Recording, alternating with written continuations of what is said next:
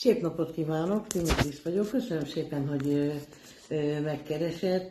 Szeretném az első kérdésem feltenni, hogy mire kíváncsi, miről szeretne tudni, mi az, ami az ön számára fontos, de mielőtt válaszolna a kérdéseimre, kérem ne tegye keresztbe sem a kezét, sem a lábát.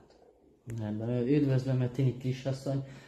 Azért jöttem önhöz, hogy a szerelemről, hogy új élettársam van, és arról, hogy, hogy igazából szeret engem, vagy csak játszadozik velem, ő erről szeretnék érdeklődni. Köszönöm szépen, megkeverem a kártyát, és kérem legyen szíves 1-től 10-ig, 1-től 10-ig ö, három számot mondani. Rendben. 6, 8 és 5. hatos, nyolcas és ötös. Hát, kedves fiatalember, engedje meg, a jelenje is természetesen kijött, a jelen élete, de engedje meg, hogy, hogy a múltjával kezdtem. A hang pedig, ami most hallatszódott, ne zavarja önt, mert időnként, amikor spiritualitással foglalkozom és jósoló, különböző hangok keletkeznek körülöttem, tudnélik, ö, a szellemvilág működik, a szellemvilág mozog, és most a segítségünkre van, hogy biztos és hiteles tanácsadást tudjak önnek adni. Nos, bár a jelenről kérdezett, én a múltjáról szeretném kezdeni. Látok itt a múltban egy csalódást, több csalódást, amiről nem beszélt.